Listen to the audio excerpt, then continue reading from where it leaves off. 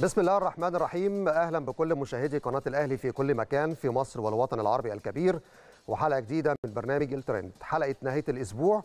وبالتأكيد جاية بعد مباراة الأهلي والجونة بالأمس. كانت مباراة مؤجلة في الجولة التاسعة من عمر مباريات الدوري العام.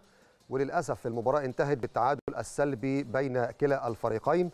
مش هنقدر نقول الأهلي خد نقطة لكن الأهلي خسر نقطتين. والفترة الأخيرة يمكن ترتيب شكل جدول الدوري وفقدان النقاط في المباريات الأخيرة خلى الدوري حاليا أصبح على صفيح ساخن. فارق المباريات المؤجلة أصبح مباراتين مباراة مع الإسماعيلي مباراة مع المقاولين العرب.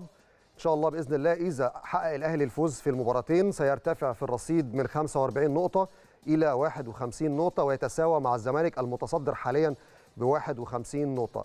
فبالتالي بعد ما كان عندنا مساحة اللي إحنا بنتكلم في فرق خمس نقاط في حال الفوز في المباريات المؤجلة بنفقد نقاط في المباريات الأخيرة وكنا نتمنى أن يكون في اهتمام أكتر وفي روح أكتر داخل الملعب عشان ما نكررش نفس اللي حصل في الموسم الماضي. ولكن نتمنى أنه يعني تكون ضارة نافعة بالنسبة للفريق في الفترة اللي جاية من أجل تدارك الأخطاء والعمل على إحراز الثلاث نقاط في كل المباريات القادمة والمتبقية من عمر مباريات الدوري العام. حلقة النهارده فيها تفاصيل مهمة وهنتكلم على كل الأمور المتعلقة بمباراة الجونة والأهلي وهنتكلم كمان عن غضب الجمهور وزعل الجمهور من فكرة فقدان النقاط في الفترة الحالية. وكمان هنتكلم عن أبرز الأخبار والقرارات اللي بيتم اتخاذها النهارده سواء من رابطة الأندية من اتحاد الكورة مباراة مصر وإسبانيا. النهارده بالتأكيد في نهائي الدوره الأولمبية دورة ألعاب البحر المتوسط اللي استضافتها الجزائر خلال العشرة أيام الأخيرة. النهارده نهائي كرة اليد ما بين مصر وإسبانيا. وبالتأكيد هنتكلم على هذه المباراة اللي هتنطلق إن شاء الله الساعة الخامسة والنصف من مساء اليوم بتوقيت القاهرة. لكن بسرعة نروح لسؤال حلقة النهارده من برنامج الترند وسؤال النهارده له علاقة بالتأكيد بنتيجة مباراة الأمس. عايز أعرف الجمهور رأيه إيه ورسالته إيه للاعبي الأهلي بعد التعادل مع الجونة وقبل المباريات المهمة المتبقية من الموسم الجاري. شاركوا معنا في الإجابة على السؤال من خلال صفحات القناة عبر ال social media صفحة الفيسبوك وتويتر وإنستجرام.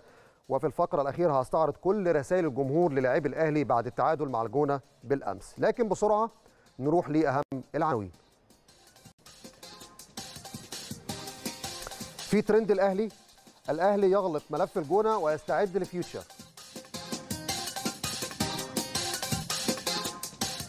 وفي الترند المحلي اتفاقية تعاون ما بين رابطة الأندية المصرية والإماراتية. وفي الترند العالمي مونديال الأندية مهدد بالإلغاء.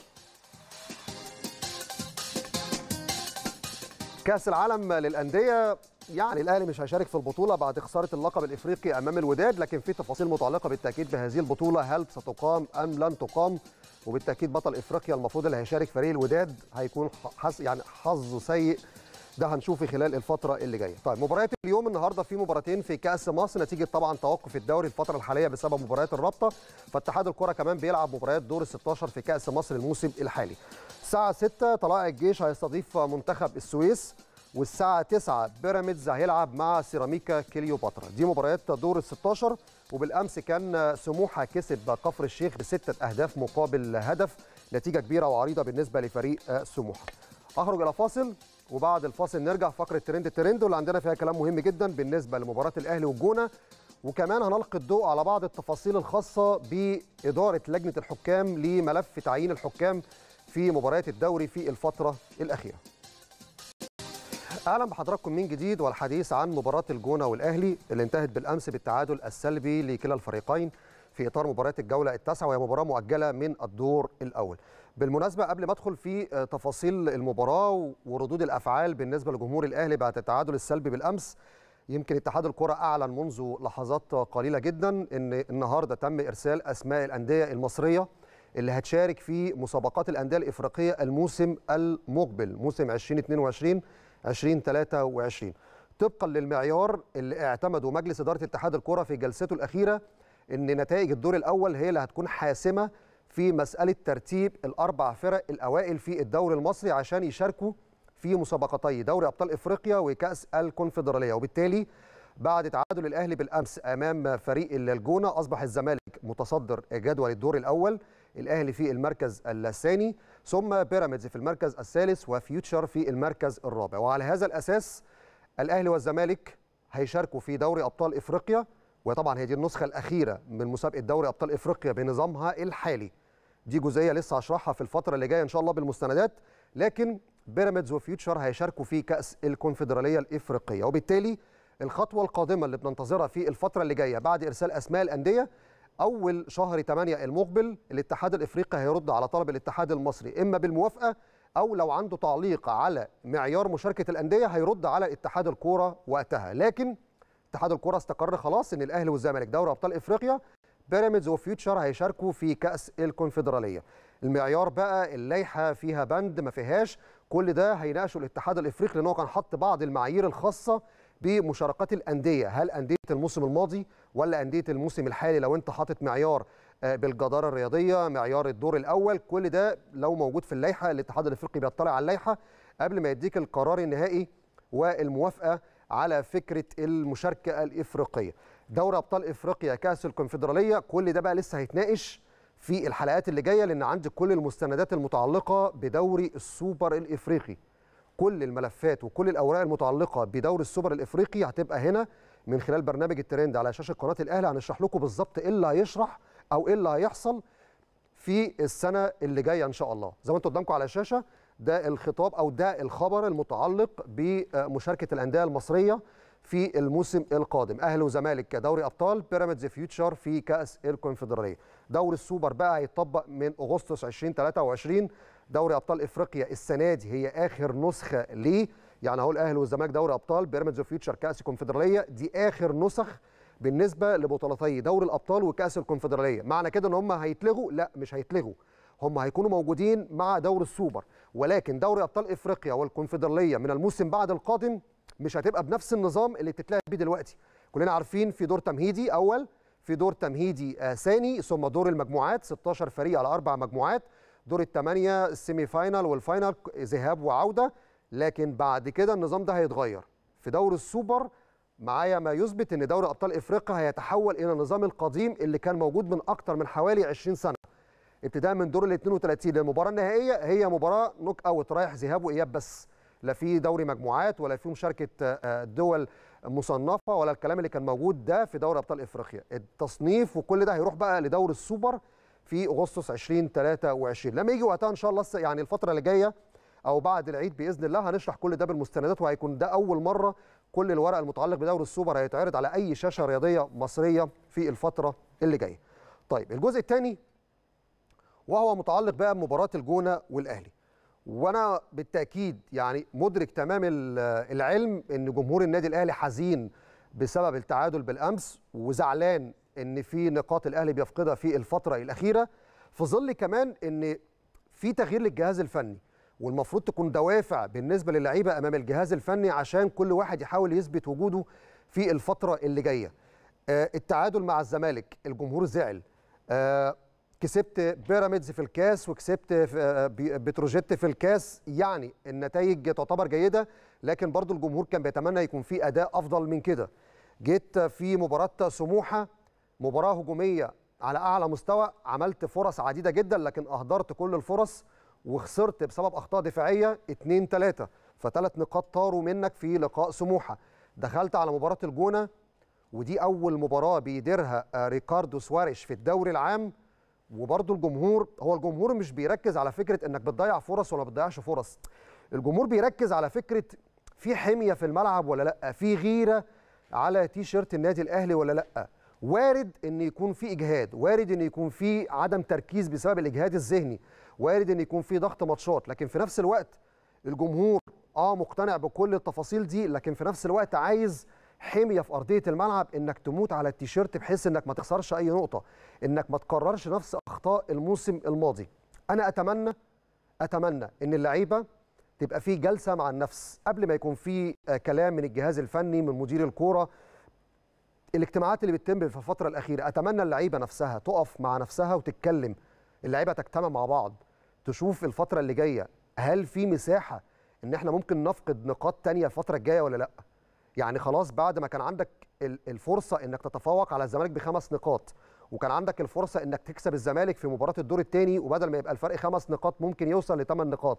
دلوقتي أنت لسه عندك مباراتين مؤجلتين مع الإسماعيلي والمقاولين ومع ذلك فرق النقاط خلاص مش موجود وأصبحت متساوي مع الزمالك في رصيد النقاط في حال إذا فزت على الإسماعيلي والمقاولين. مش عايز أقول الفوز في المباراة المؤجلة ان إحنا قلنا ده السنة اللي فاتت وقلنا السنة دي ومع ذلك بنفقد نقاط. هل ده ممكن بيدي مساحة إن اللعيبة تشعر إن فرق النقاط ده في مصلحتها فبالتالي بيكون في هدوء نسبي شوية في الملعب؟ مش عارف. هل ضغط الماتشات عامل إجهاد ذهني فمساله إهدار الفرص الكتيرة أمام المرمى ممكن يكون ده سبب ما انت بتخلق فرص بتخلق فرص. بتضيع فرص آه بتضيع فرص كتيرة. لكن في نفس الوقت إيه الأسباب؟ في كل الظروف وكل الضغوط دي لما يجي جهاز فني دايما إحنا بيبقى شايفين إن أي فرقة في العالم لما بتغير الجهاز الفني وبيجي مدير فني جديد عارف أنت فكرة إيه؟ إن أنت داخل على شغل جديد فبيبقى في حماس الشغل والحمية اللي أنت تثبت للمدرب الجديد اللي أنت جزير إنك تلعب في التشكيلة الأساسية. برضو الجمهور أنا بنقل لكم لسان الجمهور أو الجمهور بيتكلم في إيه؟ الجمهور زعلان إن فكرة إن إحنا بنقرر نفس سيناريو الموسم الماضي. فالأفضل من دلوقتي وإحنا لسه في الجولة ال20 بالنسبة للأهلي أو ال21 فبنتكلم بقينا حوالي 13 مباراة ب 39 نقطة. لو في وقفة مع النفس واللاعيبه الكبيرة اجتمعت باللاعيبه الصغيرة وفي تركيز أكتر داخل الملعب أعتقد الفترة اللي جاية مع الفرص اللي بتجيلنا والاستحواذ اللي دايما موجود في كل مباريات الأهلي لصالح فرقة الأهلي ممكن نكسب الماتشات الجاية. لأن الأخطاء لو أنت عندك مشكلة في إهدار الفرص أو في ضياع النقاط ممكن الأداء ما يكونش على المستوى المطلوب. معنى إن الأداء مش على المستوى المطلوب يعني أنت ما بتوصلش لمرمى المنافس. بس أنت بتوصل لمرمى المنافس.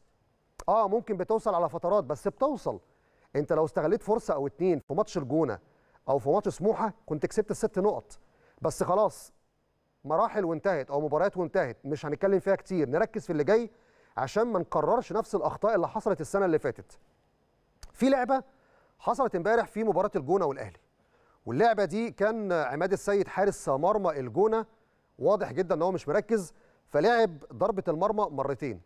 لو في سن التركيز عند محمد شريف وعند حسام حسن زي ما كان وليد سليمان واخد باله منها كويس جدا ومركز بره ال 18 أو هو واقف قصدي بره الملعب وبيسخن وبيعمل عمليه الإحماء. لو اللعيب أو المهاجم ضغط على حارس الجونة وحارس الجونة مسك الكرة بإيده هياخد كارت أحمر ويطرد. فهي تفاصيل صغيرة ممكن تكون موجودة في الماتش بس عايزة ال 11 لاعب جوه الملعب تكون عينيهم في وسط راسهم يكونوا مركزين جدا مركزين في استغلال النص فرصة مركزين في أخطاء المنافس. ما أنت الأجوان ما بتجيش إلا من خطأ المنافس. أنت بتلعب كويس وبتحاول توصل للمرمى لكن لازم يكون في خطأ للمنافس. قدامكم على الشاشة اللقطة دي. هو لعبها وحسام حسن شاور. طب اضغط يا حسام عليه. انت لو ضغطت عليه بدل ما يلعب الكورة كان ممكن يمسكها كان ممكن يطرد. لأنه بدليل إن هو مش عارف القانون إن هو لعب الكره مرتين. بص لعبها أول مرة. هنا كان لازم لعيب من الجونه يجي يستلمها. ما استلمهاش.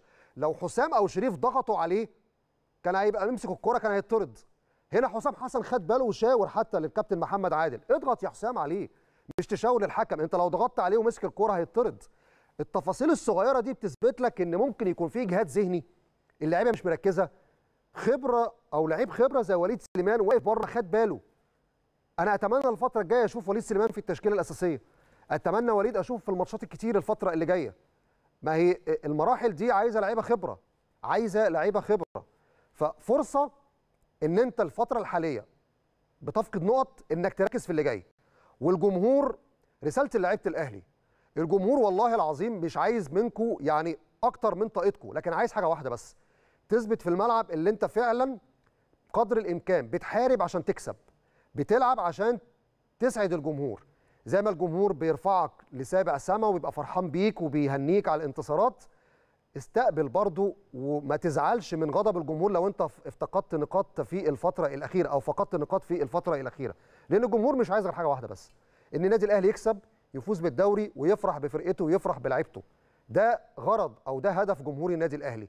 البعض ممكن بيشوف إن بعض الرسائل من الجمهور بيبقى الهدف منها سلبي. آه ده وارد. في بعض اللجان اللي موجودة على ال social media بتحاول تصدر صورة سلبية فبيبقى في ضغط أكتر على الفرقة. لكن خدوا الإيجابيات اللي موجودة على ال social media. إيه هي الإيجابيات؟ إن في جمهور لا ملوش أي مصلحة. لا بيكسب فلوس من ورا التشجيع بل بالعكس بيصرف وبيروح الاستاد بيدفع مصاريف انتقالات ممكن يسافر ورا الفرقة. ما ما, ما أي مصلحة. كل مصلحته إن النادي الأهلي يكسب. كل مصلحته انه يشوف الفرقة بتعمل أداء مميز جدا في الملعب. ده هدف جمهور النادي الأهلي.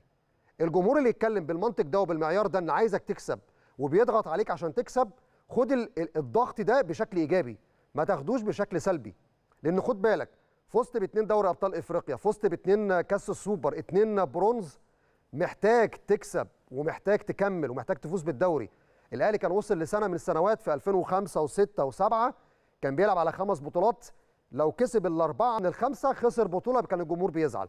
فإحنا محتاجين نرجع للحالة دي. لازم اللعيبة تفهم إنك بتلعب في الأهلي بتلعب في خمس بطولات تكسب الخمس بطولات. بس تلعب وتأدي.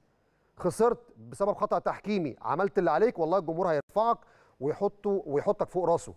لأن الجمهور فاهم وواعي وعارف كويس قوي اللعيب جوه الملعب بيأدي وبيلعب ولا في سنة كده إن هو مش مركز ومش ماشي كويس مع الفرقة في الفترة الأخيرة. أتمنى تكون رسالة الجمهور وصلت للعيبة ونقدر نعمل ده في ماتش فيوتشر اللي جاي ويكون في بقى فرصة إنك تصالح الجمهور. ماتش فيوتشر ماتش بيراميدز ولقاء الزمالك في نهائي كأس مصر. ودي فرصة طيبة لما تكون داخل على مباراة بطولة اللي أنت تسعد جمهورك وتعوض كل اللي فات.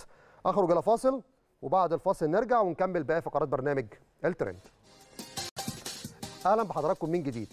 طيب جزء تاني متعلق ب الكرة المصرية بشكل عام المشاكل اللي إحنا بنشوفها كل يوم في الكرة المصرية جزء منها هو تأخير القرار أو توقيت اتخاذ القرار المناسب في المرحلة المناسبة. هنا الأمر متعلق بلجنة الحكام في اتحاد الكورة. إحنا بقالنا فترة كبيرة جدا بنتكلم عن المشاكل اللي بنواجهها من لجنة الحكام. والكل بالأمس اتفاجئ فجأة إن نهائي كأس الرابطة بطاقم تحكيم أسباني وتم تعيين طاقم تحكيم على أعلى مستوى. طاقم تحكيم بجد حتى يعني ما جاش زيه في ماتش الأهلي والزمالك. يعني الحكم الدولي اللي جه في ماتش الأهلي والزمالك يعني حكم دولي من 2019 عمل مباراة كبيرة. ما بالكم بقى الحكم الأسباني اللي جاي بكرة في ماتش فيوتشر والمحلة في نهائي كأس الرابطة ده دولي من 2014 وحكم مميز جدا من أكبر حكام الدوري الأسباني. جه في ظرف قد إيه؟ ظرف 72 ساعة. لما كان النادي الأهلي بيطلب دايما حكام أجانب كان بتتحط كده شروط. 40000 دولار آه أطلب قبلها ب 14 يوم. وفي الآخر لما تطلب من الدوريات الكبرى يقول لك أصل ما تردش عليا. الأمور أصبحت كاشفه عشان نعرف اللجنة اللي بنتعامل معاها دي هل لجنه تتعامل بشكل يعني علمي وشكل صحيح مع الأندية؟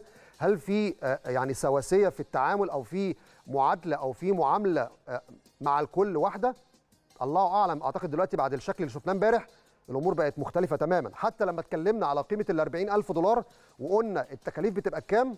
ما وصلتش ل 25000 ولغاية اللحظة دي حتى اتحاد الكره ما ردش على القيمة اللي بتتصرف دي. إيه إيه ما يثبت إن الرقم ده كله بيتصرف على الأطقم التحكيمية اللي بيتم استخدامها من أوروبا. طيب. اتكلمت برضو على فكرة تعيينات الحكام. واتكلمت في الفترة اللي فاتت على إن كان في جزء أو واجب مهم جدا من لجنة الحكام إن هي تستعين بحكام إسكندرية في فترة كبيرة جدا من الماتشات. ولما بتكلم ما بتكلمش بوجهات نظر أو رؤية شخصية. أنا بستعرض من خلال صفحة اتحاد الكورة لما بتنشر أسماء الأطقم التحكيمية اللي بتدير المباريات بعمل إحصائية. ما هي الإحصائية دي بتديني يعني معيار أو مدلول اللجنة اللي بتشتغل دي. هل لجنة بتشتغل على تطوير التحكيم ولا لجنة بتشتغل لمجرد إن هي بتشتغل وخلاص وأي حد بيكلمها في حاجة بتنفذها وبتعملها وخلاص؟ ما هو لازم أعرف اللجنة بتعين مين والفين وازاي يعني مثلا كابتن محمود بسيوني لما اتكلمت عليه حكم من منطقة اسكندرية حكم ممتاز جدا لكن اللي طلعه من القائمة الدولية كان الكابتن عصام عبد الفتاح. ولما اداله ماتشات كتيرة الفترة الأخيرة كان الكابتن عصام عبد الفتاح. إيه إزاي؟ يعني إيه معيارك يا كابتن عصام وأنت بتدي لمحمود بسيوني مباريات متتالية وفي نفس الوقت بتستبعده من القائمة الدولية؟ تيجي على صبحي العمراوي تلاقي نفس الفكرة. برضه حكم من منطقة اسكندرية بيتكرر كتير قوي. بعمل برضه كده بحث على المباريات الخاصة بالأهلي وفيوتشر. الماتش اللي جاي الأهلي وفيوتشر. فبالتأكيد عايز أعرف كام حكم مثلا جه للاهلي كام حكم جه لفيوتشر عشان أعرف اللجنة. هل اللجنة بتشتغل بطريقة علمية ولا اللجنة بتختار كده؟ آه by luck يعني بالحظ ولا بتختار إزاي؟ اكتشفت حاجة أغرب من الخيال. هل تتخيلوا إن ممكن حكم يجي في ماتش لفرقة 10 ماتشات لغاية دلوقتي وإحنا لسه أصلا ما كملناش الموسم 10 ماتشات ما بين حكم ساحة وحكم تقنية فيديو. يعني الأندية بتركز في الملف بتاعها وبتحس إن بظلم التحكيم بتطلب حكام أجانب. الأهلي طلب فيوتشر طلب كل الأندية طلبت. لكن تيجي تبص على لجنة الحكام اللي الكابتن عصام متمسك بالكرسي بتاعها لغاية دلوقتي ومش فاهم ليه ومش قادر أفهم برضه ليه الأستاذ جمال علام لغاية اللحظة دي مش قادر ياخد قرار في رئيس اللجنة رغم إن هو أعلن إن في خبير أجنبي جه مارك كلاتنبرج الحكم الدولي الإنجليزي السابق. وخلاص الراجل هيتولى المسؤولية من أول شهر 8 اللي جاي بعد ما ينتهي العقد مع الاتحاد اليوناني يوم 30 7 لكن لغاية اللحظة دي لا الكابتن عصام قدم استقاله ولا الأستاذ جمال علام عايز ياخد قرار جوه مجلس الإدارة رغم إن الترابيزة وطاولة الاجتماع كلها بنسبة 70 80% واخدة قرار بإقالة رئيس اللجنة. لكن الأستاذ جمال علام متمسك باستمرار الكابتن عصام مش عارف ليه. ولا حتى الكابتن عصام بعد تعيين كلاتنبرج طلع اعلن ان هو متقدم باستقاله رغم ان هو قال ده قبل كده. بس زي ما أنتم عارفين يعني كل كلمة بتتقال بتتسحب بعدها لأن مفيش حد بيأدي الكلمة اللي هو بيقولها. طيب أنا هستعرض قدامكم على الشاشة ملف باسم الحكم الكابتن وائل فرحان. عشان تعرفوا الكابتن عصام عبد الفتاح بيدير لجنة الحكام صح ولا بيديرها غلط؟ تكرار أسماء الحكام في بعض المباريات ده صح ولا غلط؟ يعني ممكن تلاقي حكم مثلا إيه؟ ماتشين ثلاثة أربعة بحد أقصى ما بين حكم ساحة وفار. لكن توصل إن حكم بيتقرر 10 ماتشات 10 مباريات إزاي؟ يعني ده بأي منطق يا كابتن عصام؟ اللجنة اللي أنت حاطط فيها أكتر من 20 25 واحد بتعمل إيه؟ لجنة تطوير ولجنة فار برئاسة السيد مراد اللي ما كانش حكم دولي ولا يعرف حاجة عن الفار ولجنة فنية ومدير لجنة حكام الكابتن أحمد أبو العيله ما أعرفش دوره إيه دلوقتي هو بيشتغل مع الكابتن عصام ولا هو اللي بيدير اللجنة؟ واللجنة فيها الكابتن فهيم عمر ما أعرفش هو استقال وراح يشتغل في الترسانة ولا مكمل في اللجنة محدش عارف حاجة. رئيس اللجنة نفسه حسب ما قيل من اتحاد الكرة إنه سافر المغرب. هل سافر المغرب عشان إن في تحرك من رئيس الاتحاد الإفريقي عايز يعمل هيكلة لجنه الحكام؟ فالراجل خايف على الكرسي والمنصب فساب ساب الدوري وساب المنظومة وراح المغرب يحضر كأس أمم أفريقيا للسيدات ولا هو راح ليه؟ ما هو لو بنتكلم على حضور وكعضو لجنة حكام في الكاف ما ما راحش الكاميرون حضر كاس أمم إفريقيا للرجال اللي هي البطولة الأقوى واللي فيها كل المسؤولين. ساب دي وراح يحضر كاس أمم إفريقيا للسيدات. ما لما نفتح ملف ونتكلم إن في لجنة شغالة غلط مش هنسيب الملف ده لغاية لما يتاخد فيه قرار. يعني فضلنا ماسكينه فترة طويلة لغاية لما جه خبير أجنبي. طب كمل بقى. يعني كمل القرار. أنت خدت 50% من القرار. كمل ال 50% الثانية من رئيس اللجنة؟ يتم إقالة رئيس اللجنة الحالي. لأن شغله غلط. الراجل شغال غلط. بصوا يا جماعة على الشاشة. عملت إحصائية على الحكام اللي أداروا مباريات الأهلي واللي أداروا مباريات مباراه فيوتشر. في مباراه الأهلي لقيت مثلا أربع حكام خمس حكام جم مثلا أربع مرات خمس مرات وده وارد على فكرة.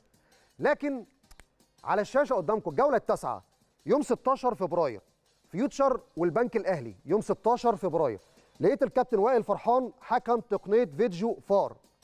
حكم تقنية فيديو الفار في الجولة التاسعة. طيب نروح للجوله ال11 يوم 25 فبراير ماتش فيوتشر والمقاولين العرب الكابتن وائل فرحان حكم ساحة. طب نروح للأسبوع اللي بعديه الأسبوع ال 12 يعني الأسبوع اللي بعديه على طول. يوم 9 مارس غزل المحلة وفيوتشر الكابتن وائل فرحان حكم تقنية فيديو. الله. طب نروح على الأسبوع اللي بعديه المقصة وفيوتشر ده قدامنا مباراة المقصة وفيوتشر الأسبوع ال 17 يوم 29 إبريل حكم تقنية فيديو برضو. طب نروح على الأسبوع ال 19 يعني الأسبوع اللي بعد ال 17 كان في 18 روح على الأسبوع 19 فيوتشر والاتحاد حكم ساحة وائل فرحان. الله. الأسبوع ال 21 فيوتشر و ايسترن كومباني شرقية للدخان. يوم 29 مايو حكم تقنية فيديو. إيه ده؟ ست ماتشات في الدوري لغاية دلوقتي. ما بين أربع مباريات حكم تقنية فيديو حكم رئيسي مش مساعد حكم رئيسي. ومباراتين حكم ساحة. طب نروح بقى لمباراه كأس الرابطة وكأس مصر. الدور قبل النهائي لكأس الرابطة اللي اتلعب يوم الأحد اللي فات 3 يوليو. فيوتشر وإنبي. كان حكم ساحة. طيب نروح ل اللي بعدها. كأس مصر دور ال 32 يوم 26 مارس فيوتشر ومنتخب السويس. كان حكم تقنيه فيديو. طب نروح على كأس الرابطة. المباريات اللي كانت في بداية البطولة. دور ال 16 ماتش ايسترن كومباني الشرقية للدخان مع فيوتشر. كان يوم 12 يناير حكم تقنية فيديو. طب نروح لكأس الرابطة برضو ماتش المصري وفيوتشر. الكابتن وائل فرحان حكم تقنية فيديو مع الكابتن محمد الحنفي يوم 26 يناير. إيه ده؟ إيه ده يا جماعة؟ هي اللجنة بتشتغل إزاي؟ أنا عايز أفهم الراجل اللي مسؤول عن تعيينات الحكام في لجنة الحكام هو بيشتغل إزاي؟ هو بياخد القايمة بتاعت الأسبوع ال11 يعدي أسبوع 12 ويحطها في الأسبوع ال13 ده معنى كده إنك لا بتاخد بتقارير المراقبين مراقب الحكام اللي بيراقب ده بيدي درجات. هل الراجل ده في تقريره جايب 10 من 10 عشان يكرر كل الماتشات ديت؟ خدوا بالكم أنا اتكلمت على الدوري لوحده وكأس الرابطة لوحده لكن لو بصيتوا على التواريخ بصوا 12 يناير 26 يناير 16 2 25 2 9 3 26 3 29 4 17 5 29 5 3 7 إحنا بنتكلم فترة زمنية من مباراة والثانيه يا إما أسبوعين يا إما ثلاثة يا إما أسبوعين يا إما ثلاثة ورا بعض. هو وائل فرحان حكم دولي؟ لا مش حكم دولي. إيه ده؟ ليه؟ ده على فكرة أنا لسه ببحث بس على مباريات الأهلي وفيوتشر لسه ما رحتش لباقي الفرق. ده أنا ممكن ألاقي محمد معروف رايح لفرقة مثلا خمس ماتشات ورا بعض. ممكن ألاقي مثلا محمد الحنفي أربع ماتشات ورا بعض. أنا مش بتكلم على الحكام. أنا بتكلم على اللجنة اللي بتدير ملف التحكيم في مصر. إيه اللي بتعمله ده؟ إيه اللي بتقرره ده؟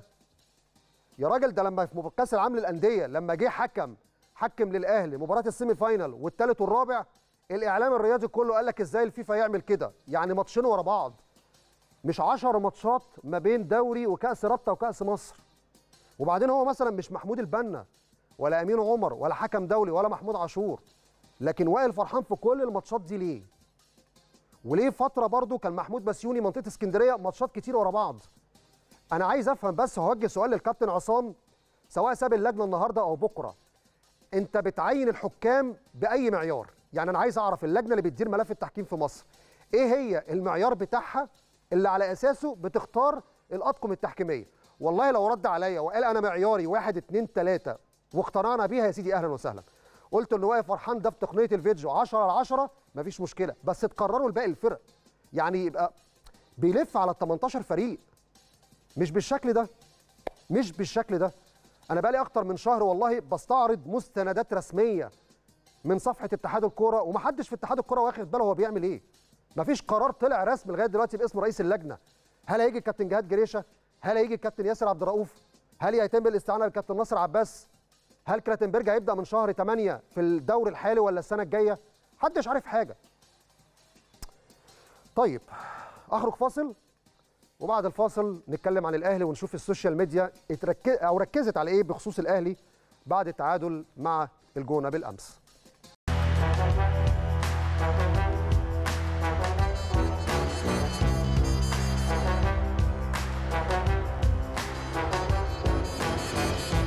الحقيقة إن العلاقة ما بين مصر والإمارات علاقة تاريخية آه، سواء على مستوى القيادة السياسية أو الحكومات وشعب مصر والإمارات شعب واحد. طول عمرنا اتربينا على كده.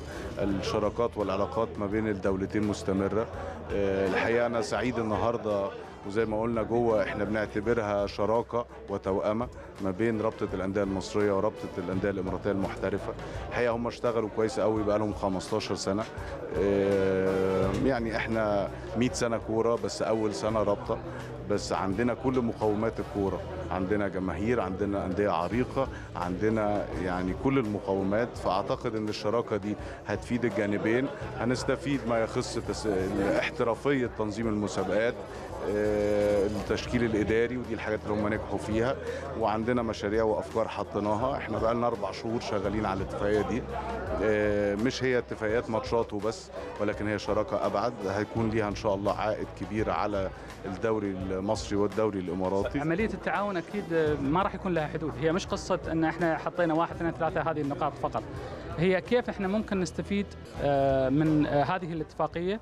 ومثل ما ذكر آه، سعاده النائب أحمد إن هي توأمة بحيث إنه يكون في علاقة مشتركة الدوري المصري دوري كبير دوري جماهيري دوري فنيا قوي فأكيد راح تكون في فائده أيضا مشتركة ما بيننا وبينهم الله. هي ليست فقط قضية مباراة أو سوبر هي آه، تبادل آه، تعاون آه، تبادل استفادة من ناحية الناحية الفنية الناحيه التكنولوجيه الناحيه التسويقيه آه، كثير من النواحي آه، صدقني هي مش قصة آه، فقط نقاط معينة وراح نكتفي فيها آه، راح نتطلع لما هو أبعد عن ذلك بكثير عن فقط اللي هي عملية المباريات المشتركة.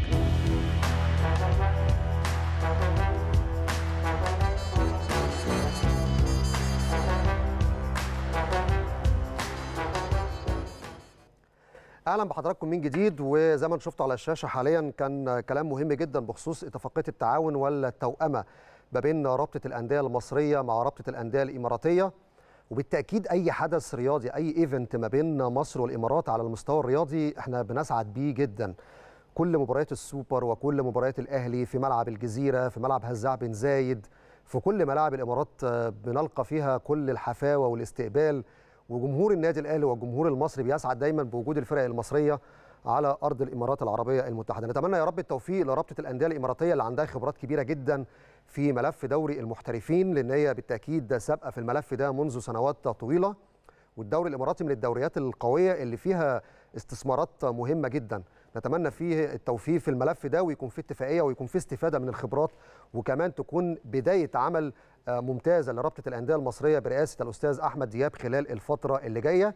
وعلى هامش ده كمان بإذن الله هنشوف بقى في مباراتين كأس السوبر في الفترة اللي جاية في الإمارات. كأس السوبر الموسم الماضي اللي هيكون بين الأهلي والزمالك إن شاء الله يوم 21 أكتوبر وفي كأس سوبر أخرى إن شاء الله لكن بعد ما نخلص الدوري والكأس بالنسبة للموسم الحالي. ونتمنى يا رب أيضا كمان يكون الأهلي طرف فيها لأن بالتأكيد وجود الأهلي في الإمارات بيسعد الأشقاء جدا في الإمارات العربية المتحدة وبيبقى رواج كبير جدا للحدث وال event اللي بيتنظم في الإمارات العربية المتحدة. طيب نروح بقى لترند الأهلي وترند الأهلي النهارده معانا فيه تفاصيل مهمة جدا لأن بالتأكيد إن ال social media كلها عندها أخبار وكلام مهم بخصوص نتيجة مباراة الأهلي والجونة واللي هيحصل الفترة اللي جاية. الحساب الرسمي يلا كورة على تويتر قال وفقا لمصدر ليلا كورة النادي الأهلي يقرر أو يقرر تجميد المستحقات على اللاعبين. من المقرر أن يقوم سيد عبد الحفيظ بإبلاغ اللاعبين بقرار خصم المستحقات مع عودة الفريق إلى التدريبات مساء غد الخميس. النهارده في راحة وفي يعني حسب المصدر اللي قال يلا كوره إن في قرار بتجميد مستحقات اللاعبين. اولا طبعا في لائحة منظمة لهذا العمل ما بين إدارة الكورة والنادي الأهلي وأكيد لما بيبقى في خسارة لمباراة ثم تعادل أو خسارة نقاط تانية بيبقى في قرار طبقا للائحة اللي ما بين الجهاز الفني واللاعبين داخل النادي الأهلي. طب اليوم السابع بيتكلم على ثنائي الأهلي يغادران إلى الدوري الجنوب إفريقي بعد رحيل موسيماني. هنا الكلام متعلق بلويس ميكيسوني هينضم لأحد أندية فرق جنوب إفريقيا والكلام إن هو عنده عرض من سيمبا التنزاني وكمان في عرض ليه من خلال كايزر تشيفز الجنوب إفريقي ده على حسب عهدة صحيفة سيتيزن واليوم السابع نقل عنها إن في عروض بالنسبة لبيرسي تاو لويس ميكيسوني في الدوري الجنوب إفريقي. ده هنشوف الفترة الجاية أول ما يكون في أول ما يكون في حاجة رسمية النادي الأهلي هيعلنها بخصوص ملف الراحلين سواء لاعب أجنبي أو حتى لاعب محلي. كورة بلس بيتكلم أيضا في ملف لويس ميكيسوني ومكتوب بعد اقتراب رحيله. الأهلي يحدد مواصفات بديل ميكيسوني. طيب بيتكلموا إن خلاص لويس ميكيسوني أصبح خارج النادي الأهلي. ولجنة التخطيط بالاهلي بتبحث عن جناح من أجل دعم الفريق بعد تراجع مستوى عدد من اللاعبين والتعاقد مع لاعب في نفس مركز لويس ميكيسوني. وبيفضل إن اللاعب ده بيلعب بالقدم اليسرى وليس شرطا في حال وجود لاعب مميز يملك إمكانيات عالية. عموما هنشوف الفترة الجاية بخصوص الملف ده لانكم هتقروا كلام كتير قوي بخصوص ملف الراحلين. أهو كورة بلس برضه بيتكلم فيها تاني وبيتكلم على إن في توصية من لجنة التخطيط بالإستغناء عن حارس الفريق. هنا الكلام على ضرورة التعاقد مع حارس مرمى جديد والاستغناء عن حارس من الثنائي علي لطفي أو مصطفى شوبير على سبيل الإعارة أو البيع النهائي. لا تعليق. لا تعليق على هذا الخبر في هذه الفترة. أخرج إلى فاصل وبعد الفاصل نرجع ونكمل باقي فقرات برنامج الترند. أهلا وسهلا بحضراتكم من جديد ونروح لاستكمال فقرة ترند الأهلي لأن عندي فيها كلام مهم جدا بخصوص أليو ديانج. حساب اليوم السابع على الفيسبوك قالوا إن الأهلي يفتح الباب أمام رحيل ديانج في الصيف وقالوا إن في حال تلقي النادي العرض مغري في ميركاتو الصيف الحالي في ظل رغبة اللاعب أيضا في خوض تجربة الاحتراف في أحد الدوريات الكبرى بعد قضاء ثلاث سنوات داخل الأهلي لا تمانع إدارة الكرة في الأهلي متمثلة في الجهاز الفني وشركة الكرة ولجنة التخطيط في رحيل ديانج حال تلقي القلعة الحمراء عرض بقيمة مالية لا تقل عن 7 أو 8 مليون دولار. بيترقب مسؤول النادي وصول عرض رسمي من نادي اندرلاخت البلجيكي للحصول على خدمات ديانج لكن مصدر قال إن النادي لم يتلقى حتى الآن أي عروض من اندرلاخت لضم اللاعب المالي. طيب بخصوص اندرلاخت النهارده في تفاصيل جديدة نشرتها المصري الرياضي وقالوا بعد موافقة الأهلي أليو ديانج في اندرلاخت البلجيكي مقابل 5 مليون يورو. في نفس السياق المصري يوم النهارده ركز على إن في عرض الاليو ديانج من إندرلاخت مقابل 5 مليون يورو للانتقال خلال فترة الانتقالات الصيفية الحالية. ولكن المصري يوم واخد الخبر ده أو المعلومة من خلال الاتحاد المالي عبر حسابه الرسمي. قدامكم على الشاشة ده حساب رسمي للاتحاد المالي على آه، تويتر. الحساب مكتوب فيه نصا كده نقلا على الموقع افريكا فوت يونايتد ديانج يقترب من اندرلخت سيكون أليو ديانج في اندرلخت ولن يعارض اللاعب فكرة الانضمام للنادي البلجيكي. سيقدره ناديه بقيمة 5 مليون يورو ويمكن للاهلي السماح له بالرحيل في حال تقديم عرض. بصوا أنا ما عنديش مشكلة إن موقع أفريكا فوت يونايتد ينشر لكن الاتحاد المالي من خلال حسابه الرسمي ينشر تغريدة موقع أفريكا فوت يونايتد ويقول إن في عرض رسمي ليه من إندرلخت. هنا الاتحاد المالي بيأكد المعلومة. هنشوف بقى خلال الساعات اللي جاية مدى صحة هذا الخبر خاصة بعد ما الاتحاد المالي نشر على حسابه هذا الخبر. هل في عرض ولا لا؟ طب نروح على المشاركات والسؤال اللي طرحناه في البداية أو الرساله اللي طلبنا اللعيبة أو طلبنا الجمهور يوجهها للعيبة بعد التعادل مع الجونة. أستاذ أنور أستاذ أنور بيقول مفيش حاجة الأهلي مفيش حاجة.